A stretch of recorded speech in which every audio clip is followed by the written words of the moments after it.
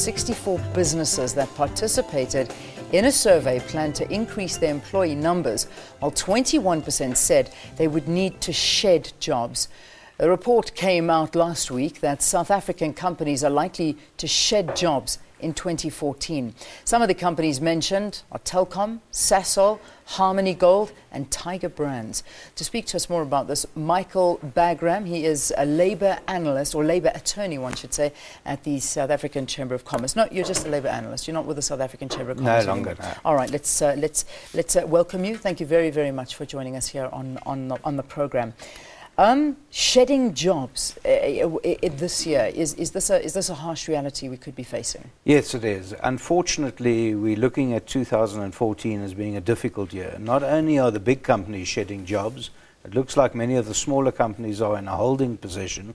Uh, we're going to see a problem with manufacturing, mm-hmm. and even with the weak rand, the manufacturing seems to be put on hold. No one that I've spoken to in terms of small companies is planning uh, a move upwards this year. There are certain industries that are looking, um, for instance, in Cape Town in tourism, they're looking to expand. I know the security industry around the country is looking to expand. So there are certain industries that we're looking for that. And of course, the message is when you, as a student, are going out to do some sort of tertiary education, uh, one would look at the industries that are going to expand so mm. that you can ensure you've got a job. What's also important as a message is that anyone who has a job, hold on to it. It's a valuable asset, especially for 2014. Wow. We've got a bit of a problem this year, uh, and that problem is not going to be easily resolved.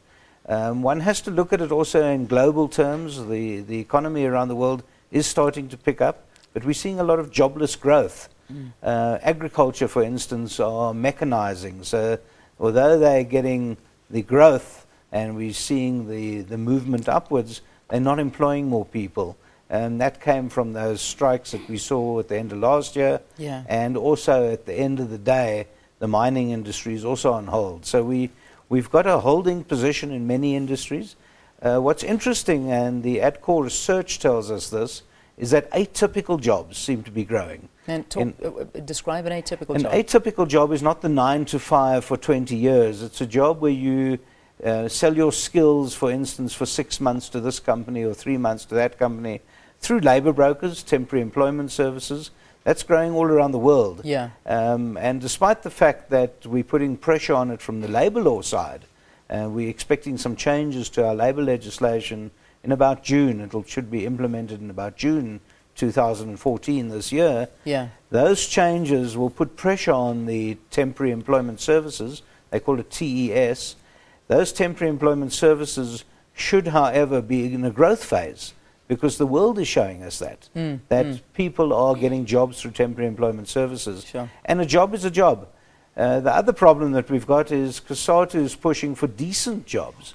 Um, and one understands that a job is better than no job. Mm. Um, so, yes, the government is putting a discussion on the table about minimum wages and about decent jobs.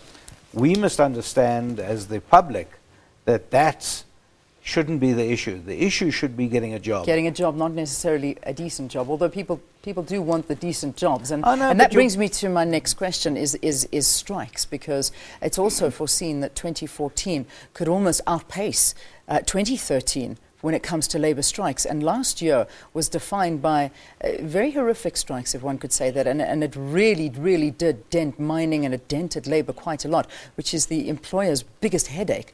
Is this true? Do you foresee bigger strikes and uh, labour really taking to the streets this year? Yes, I do. Um, unfortunately, we are now in the midst of a massive strike.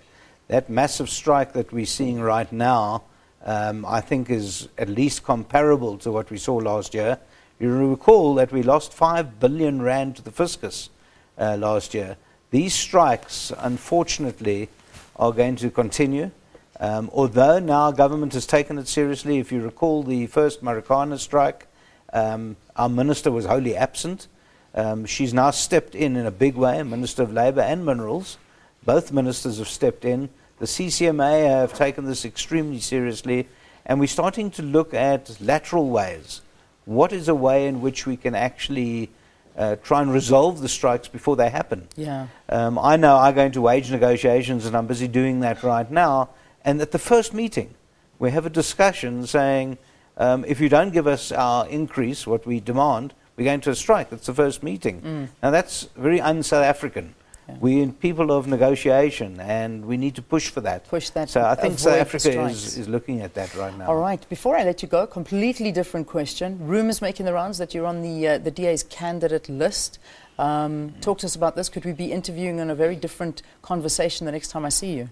Yeah, I'm going to wear a, a nice hat next Yeah. time I come here, hopefully. Good. Yes, I am. Um, I'm very interested in labour. I'm interested in making sure that small business survives and thrives.